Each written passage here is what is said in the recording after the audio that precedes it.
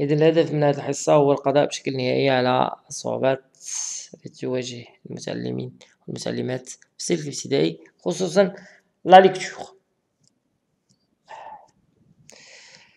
إذا نقترح عليكم هذا النص باللغة الفرنسية. نظن بأنني سوف نتمكن من القضاء على الصعوبات لأن العديد من الآباء وأولياء الأمور يشتكون من هذا هذا الشيء صعوبات القراءة باللغة الفرنسية لدى الأطفال. لدينا فرصة سعيدة للقاء بكم أيها التلاميذ الأعزاء كذلك الآباء وأولياء التلاميذ. سوف نعمل معا للقضاء على هذه الصعوبات بشكل جيد. فيديوهات حصرية على قناتنا جوكومينيك تيفي لكافة التلاميذ والتلميذات السلك الابتدائي سوف نفهم النص الآن. كما تلاحظ في الصورة هناك عائلة جد مسرورة لأن هناك امتياز لدى هذا الطفل. اسمه ماما. ديال العنوان ديال النص عن نوفيل أمي أو صديق جديد. أظن هذا الشخص ها؟ أمين. voilà Regardez bien s'il vous plaît, il y a une image qui représente une famille tout à fait heureuse. Pourquoi donc? Parce que c'est leur fils a reçu un cadeau de la part de sa maîtresse parce qu'elle lit très bien. Hmm. Et le texte intitulé Un nouvel ami, il s'agit de celui-là. C'est le camarade d'Omar, elle s'appelle Amine.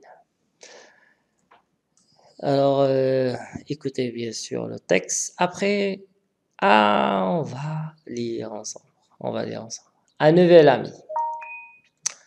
Omar ouvre la porte et entre avec un camarade.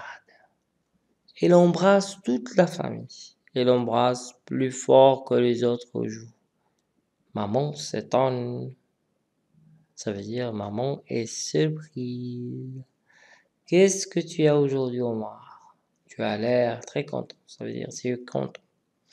D'abord, laissez-moi vous présenter mon ami. Il s'appelle Amine. Il va à la même école que moi. Bienvenue, mon petit, dit la maman. Mais tu ne m'as pas dit, Omar, pourquoi tu es si content? Je suis heureux car le maître... Ah bon, c'est le maître, c'est pas la maîtresse. Bon, c'est la même chose. Je suis heureux car le maître m'a donné un beau livre aujourd'hui. C'est bien, lis-le avec Amine. D'après Abdelkader Frahel. La lecture maintenant. Un nouvel ami. à haute voix, à haute voix, à haute voix, بصوت مرتفع. Un nouvel ami. زين. Omar ouvre la porte et entre avec un camarade. Lisez doucement. Omar ouvre la porte et entre avec un camarade. Excellent. Elle embrasse toute la famille. Elle embrasse toute la famille. La famille. C'est pas la famille. La famille. Voilà. Elle embrasse plus fort que les autres jours. Non, non, non. C'est pas plus forte. Elle embrasse plus fort. T ne se prononce pas que les autres jours. Voilà. On recommence, on recommence. Omar ouvre la porte et entre avec un camarade. Il embrasse toute la famille. Il embrasse plus fort que les autres jours. Maman s'étonne. Qu'est-ce que tu as aujourd'hui, Omar? C'est une question. Il faut lire de cette façon, à haute intention. Qu'est-ce que tu as aujourd'hui, Omar? Tu as l'air très content. Hein? C'est une phrase exclamative. Tu as l'air très content. Hein? D'abord, laissez-moi vous présenter mon ami. C'est une phrase impérative. Laissez-moi vous présenter mon ami. Il s'appelle Ami. Il va à la même école que moi. C'est très bien. C'est un dialogue entre euh, Omar et les autres membres de sa famille. Bienvenue mon petit, dit la maman. Mais tu ne m'as pas dit, Omar, pourquoi tu es si content?